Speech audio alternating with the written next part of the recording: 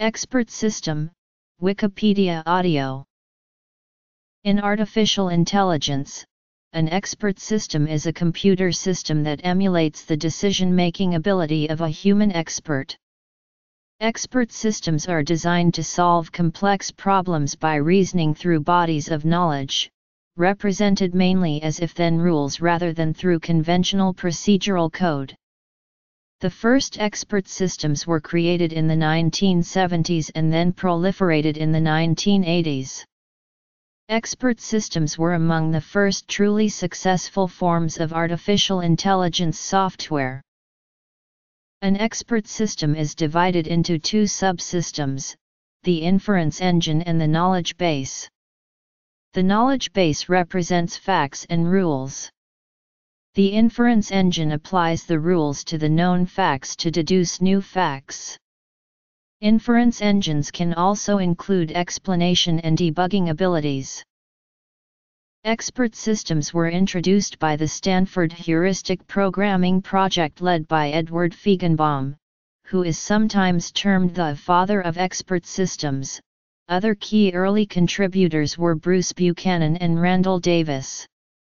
The Stanford researchers tried to identify domains where expertise was highly valued and complex, such as diagnosing infectious diseases and identifying unknown organic molecules.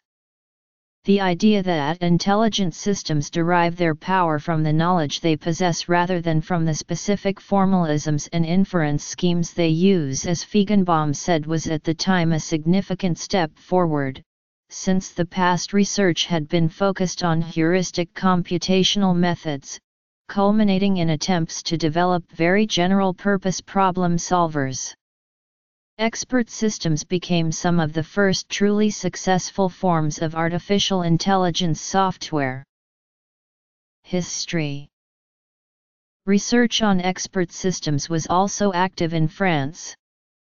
While in the US the focus tended to be on rule-based systems, first on systems hard-coded on top of Lisp programming environments and then on expert system shells developed by vendors such as IntelliCorp. In France research focused more on systems developed in Prolog. The advantage of expert system shells was that they were somewhat easier for non-programmers to use. The advantage of Prolog environments was that they weren't focused only on if-then rules. Prolog environments provided a much fuller realization of a complete first-order logic environment. In the 1980s, expert systems proliferated. Universities offered expert system courses and two-thirds of the Fortune 500 companies applied the technology in daily business activities. Interest was international with the fifth-generation computer systems project in Japan and increased research funding in Europe. Truth maintenance These systems record the dependencies in a knowledge base so that when facts are altered, dependent knowledge can be altered accordingly. For example, if the system learns that Socrates is no longer known to be a man it will revoke the assertion that Socrates is mortal, Hypothetical reasoning. In this, the knowledge base can be divided up into many possible views, aka worlds. This allows the inference engine to explore multiple possibilities in parallel. For example, the system may want to explore the consequences of both assertions, what will be true if Socrates is a man and what will be true if he is not, fuzzy logic. One of the first extensions of simply using rules to represent knowledge was also to associate a probability with each rule. So, not to assert that Socrates is mortal, but to assert Socrates may be mortal with some probability value. Simple probabilities were extended in some systems with sophisticated mechanisms for uncertain reasoning and combination of probabilities, ontology classification. With the addition of object classes to the knowledge base, a new type of reasoning was possible. Along with reasoning simply about object values, the system could also reason about object structures. In this simple example, man can represent an object class and R1 can be redefined as a rule that defines the class of all men. These types of special purpose inference engines are termed classifiers. Although they were not highly used in expert systems, classifiers are very powerful for unstructured volatile domains, and are a key technology for the Internet and the emerging semantic web. In 1981, the first IBM PC, with the PC-DOS operating system, was introduced. The imbalance between the high affordability of the relatively powerful chips in the PC, compared to the much more expensive cost of processing power in the mainframes that dominated the corporate IT world at the time, created a new type of architecture for corporate computing, termed the client-server model. Calculations and reasoning could be performed at a fraction of the price of a mainframe using a PC.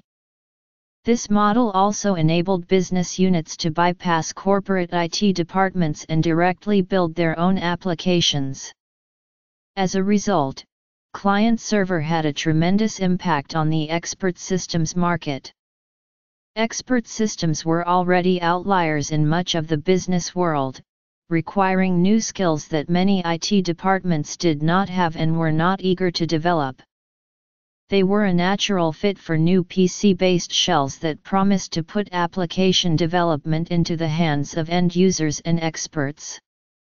Until then, the main development environment for expert systems had been high-end Lisp machines from Xerox, Symbolics, and Texas Instruments.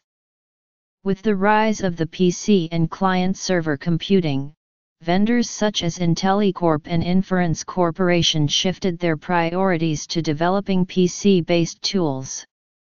Also, new vendors, often financed by venture capital, started appearing regularly. The first expert system to be used in a design capacity for a large-scale product was the SID software program, developed in 1982. Written in Lisp, SID generated 93% of the VAX 9000 CPU logic gates. Input to the software was a set of rules created by several expert logic designers. SID expanded the rules and generated software logic synthesis routines many times the size of the rules themselves. Surprisingly, the combination of these rules resulted in an overall design that exceeded the capabilities of the experts themselves, and in many cases outperformed the human counterparts. While some rules contradicted others, top-level control parameters for speed and area provided the tiebreaker. The program was highly controversial, but used nevertheless due to project budget constraints. It was terminated by logic designers after the VAX 9000 project completion. In the 1990s and beyond, the term expert system and the idea of a standalone AI system mostly dropped from the IT lexicon. There are two interpretations of this. One is that expert systems failed, the IT world moved on because expert systems didn't deliver on their overhyped promise. The other is the mirror opposite, that expert systems were simply victims of their success, as IT professionals grasped concepts such as rule engines. Such tools migrated from being standalone tools for developing special purpose expert systems, to being one of many standard tools. Many of the leading major business application suite vendors integrated expert system abilities into their suite of products as a way of specifying business logic rule engines are no longer simply for defining the rules an expert would use but for any type of complex, volatile, and critical business logic. They often go hand in hand with business process automation and integration environments. An expert system is an example of a knowledge-based system. Expert systems were the first commercial systems to use a knowledge-based architecture. A knowledge-based system is essentially composed of two subsystems, the knowledge base and the inference engine. The knowledge base represents facts about the world. In early expert systems such as Mycin and Dendral, these facts were represented mainly as flat assertions about variables. In later expert systems developed with commercial shells, the knowledge base took on more structure and used concepts from object-oriented programming. The world was represented as classes, subclasses, and instances and assertions were replaced by values of object instances. The rules worked by querying and asserting values of the objects. The inference engine is an automated reasoning system that evaluates the current state of the knowledge base, applies relevant rules, and then asserts new knowledge into the knowledge base. The inference engine may also include abilities for explanation, so that it can explain to a user the chain of reasoning used to arrive at a particular conclusion by tracing back over the firing of rules that resulted in the assertion. There are mainly two modes for an inference engine, forward chaining and backward chaining. The different approaches are dictated by whether the inference engine is being driven by the antecedent or the consequent of the rule. In forward chaining an antecedent fires and asserts the consequent. For example, consider the following rule. Software architecture R 1 M A N X equals M O R T A L X equals a simple example of forward chaining would be to assert man to the system and then trigger the inference engine. It would match R1 and assert mortal into the knowledge base. Backward chaining is a bit less straightforward.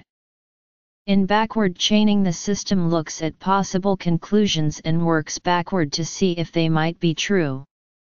So if the system was trying to determine if mortal is true it would find R1 and query the knowledge base to see if man is true. One of the early innovations of expert systems shells was to integrate inference engines with a user interface. This could be especially powerful with backward chaining. If the system needs to know a particular fact but doesn't, then it can simply generate an input screen and ask the user if the information is known. So in this example, it could use R1 to ask the user if Socrates was a man and then use that new information accordingly. The use of rules to explicitly represent knowledge also enabled explanation abilities. In the simple example above if the system had used R1 to assert that Socrates was mortal and a user wished to understand why Socrates was mortal they could query the system and the system would look back at the rules which fired to cause the assertion and present those rules to the user as an explanation. In English if the user asked why is Socrates mortal? The system would reply because all men are mortal and Socrates is a man. A significant area for research was the generation of explanations from the knowledge base in natural English rather than simply by showing the more formal but less intuitive rules. As expert systems evolved, many new techniques were incorporated into various types of inference engines. Some of the most important of these were the goal of knowledge-based systems is to make the critical information required for the system to work explicit rather than implicit. In a traditional computer program the logic is embedded in code that can typically only be reviewed by an IT specialist. With an expert system the goal was to specify the rules in a format that was intuitive and easily understood, reviewed, and even edited by domain experts rather than IT experts. The benefits of this explicit knowledge representation were rapid development and ease of maintenance. Ease of maintenance is the most obvious benefit. This was achieved in two ways. First, by removing the need to write conventional code, many of the normal problems that can be caused by even small changes to a system could be avoided with expert systems. Essentially, the logical flow of the program was simply a given for the system, simply invoke the inference engine. This also was a reason for the second benefit, rapid prototyping. With an expert system shell it was possible to enter a few rules and have a prototype developed in days rather than the months or year typically associated with complex IT projects. Advantages Disadvantages A claim for expert system shells that was often made was that they removed the need for trained programmers and that experts could develop systems themselves. In reality, this was seldom if ever true. While the rules for an expert system were more comprehensible than typical computer code, they still had a formal syntax where a misplaced comma or other character could cause havoc as with any other computer language. Also, as expert systems moved from prototypes in the lab to deployment in the business world, issues of integration and maintenance became far more critical inevitably demands to integrate with, and take advantage of, large legacy databases and systems arose. To accomplish this, integration required the same skills as any other type of system. Applications Applications as Bayesian networks the most common disadvantage cited for expert systems in the academic literature is the knowledge acquisition problem. Obtaining the time of domain experts for any software application is always difficult, but for expert systems it was especially difficult because the experts were by definition highly valued and in constant demand by the organization.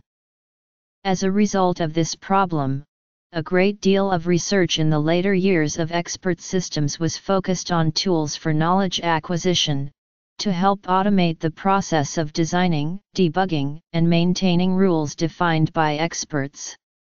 However, when looking at the life cycle of expert systems in actual use, other problems essentially the same problems as those of any other large system seem at least as critical as knowledge acquisition, integration, access to large databases, and performance. Performance was especially problematic because early expert systems were built using tools such as Lisp, which executed interpreted code.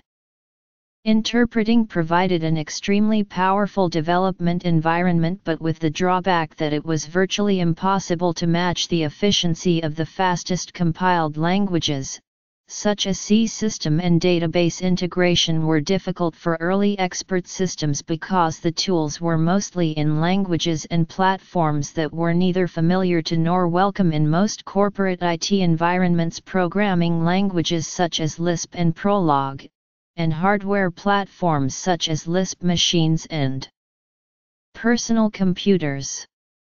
As a result, much effort in the later stages of expert system tool development was focused on integrating with legacy environments such as COBOL and large database systems, and on porting to more standard platforms. These issues were resolved mainly by the client-server paradigm shift, as PCs were gradually accepted in the IT environment as a legitimate platform for serious business system development and as affordable mini-computer servers provided the processing power needed for AI applications. Hayes-Roth divides expert systems applications into 10 categories illustrated in the following table. The example applications were not in the original Hayes-Roth table, and some of them arose well afterward. Any application that is not footnoted is described in the Hayes-Roth book. Also, while these categories provide an intuitive framework to describe the space of expert systems applications, they are not rigid categories, and in some cases an application may show traits of more than one category. Hearsay was an early attempt at solving voice recognition through an expert systems approach. For the most part this category or expert systems was not all that successful. Hearsay and all interpretation systems are essentially pattern recognition systems looking for patterns in noisy data. In the case of hearsay recognizing phonemes in an audio stream. Other early examples were analyzing sonar data to detect Russian submarines. These kinds of systems proved much more amenable to a neural network AI solution than a rule-based approach. Caduceus and Mycin were medical diagnosis systems. The user describes their symptoms to the computer as they would to a doctor and the computer returns a medical diagnosis. Dendral was a tool to study hypothesis formation in the identification of organic molecules. The general problem it solved designing a solution given a set of constraints was one of the most successful areas for early expert systems applied to business domains such as salespeople configuring digital equipment corporation VAX computers and mortgage loan application development. SMH.PAL is an expert system for the assessment of students with multiple disabilities. Mistral is an expert system to monitor dam safety, developed in the 90s by ISMES. It gets data from an automatic monitoring system and performs a diagnosis of the state of the dam. Its first copy, installed in 1992 on the Ridrey Dam is still operational 24-7-365. It has been installed on several dams in Italy and abroad, and on landslide sites under the name of Eydenet, and on monuments under the name of Kaleidos. Mistral is a registered trademark of CESI. Bayesian networks are probabilistic graphical models, which are typically used to model cause and effect relationships, have become the most widely accepted technique for incorporating expert knowledge along with data. Expert knowledge can be incorporated into BNS by either constructing the causal graph, or by incorporating factors into the causal network which are important for inference but which data fail to capture. The popularity of BNS as expert systems has led to the development of countless prediction and decision support systems in industry, government, and academia worldwide. These systems typically incorporate both knowledge and data, and have been applied in the areas of, but not limited to, finance, engineering, sports, sports psychology, law, project management, marketing, medicine, energy, forensics, economics, property market, and defense.